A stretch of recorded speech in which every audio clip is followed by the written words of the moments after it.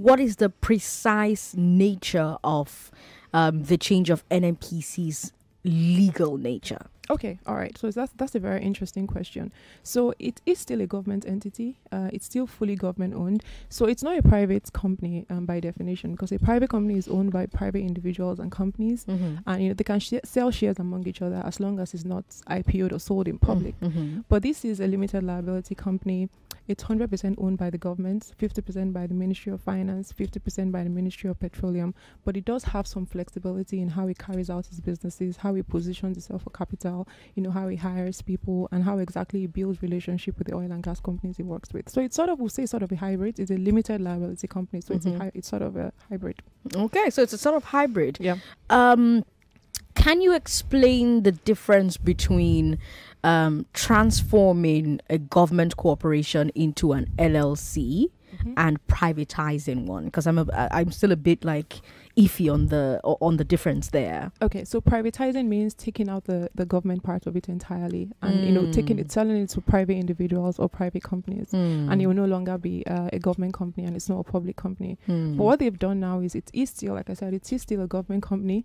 It's still 100% owned by the government, but the way it's designed, Mhm. um, there's a lot of flexibility around it. So, for example, they are no longer tied to the PPA, which is the Public Procurement Act, or like the Fiscal Regulatory Act, etc., that used to like slow them slow them down and add some sort of bureaucracy. Mhm. So they have the flexibility of a company like Sahara and ExxonMobil, okay. um, but then they are still a, a a government, government owned entity entity. not much has actually changed. So it's still a government entity. And um, part of the PIA, which is the bigger picture, is that the Ministry of Finance and the Ministry of Petroleum, they sit together and look at all the assets the government owns today, put some sort of valuation to them, and determine which of them are moved into the private entity, into the LLC, which Mm. is NNPC Mhm. Limited.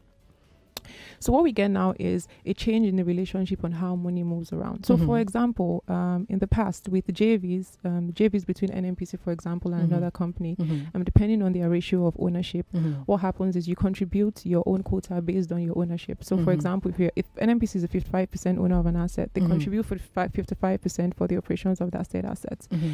Um, but because um, when NNPC was a corporation, they hold assets on behalf of the government, they don't own it. Mm. So when they need money, they get money from the government cash calls, and when they do sell the crude, the money is swept to the um, government federation account. Mhm. But today, as a limited liability company, they are responsible for the equivalent of cash calls, which Mhm. is their own contribution to the asset. Mhm. So that when the crude is sold and they make money, what they owe the government is no longer sweeping all the funds into the government federation. What they owe the government is two things. First is taxes and royalties, like every other oil company, and then dividends. And second thing they owe the government is dividends. Because the government is the owner of the company, the dividend goes to the government as well. So Mm. those are some of the changes that are going to occur. But that brings me to my next question. They're supposed to remit uh, the bulk of JV Ventures to the Federation, right? Recently, there have been disputes about these remittances, um, and now they own the assets. Mhm. Why should Nigerians trust that an NNPC that is now free uh, from government oversight will not become even worse at remitting JV uh, uh, revenues? Uh, so um, I mean that's a that's that's an interesting view. Um, but again, you know what they owe the government as a limited liability company is no longer sweeping funds. Now they own the assets by themselves. Mhm. You know, um, in the past they didn't own the asset; they're Mhm. holding it for the government. Mhm. So for every sale they make, they have to sweep the money into this um, crude federation account. Mhm. But as of today, or after um, they become a limited liability company, just Mhm. like every other oil company, what they do Just is I pay your tax. you pay your taxes, That's it. you pay your royalty, and then you know just like every other company that pays dividends, you pay dividends. But in this case, because the government owns the company, the dividend then also goes to the government.